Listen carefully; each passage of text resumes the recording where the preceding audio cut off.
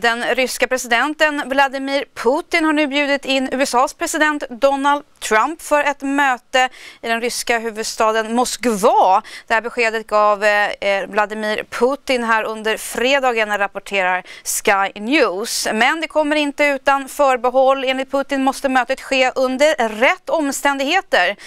De två världsledarna ja, de möttes ju för drygt, ett, eh, drygt en vecka sedan eh, för att föra ett samtal eh, som skulle eh, då värma upp de kyliga relationerna eh, länderna emellan. Och efter mötet ja, då kröntes eh, Putin eh, som den stora segraren medan Donald Trump målades ut som presidenten som svikit eh, sitt land.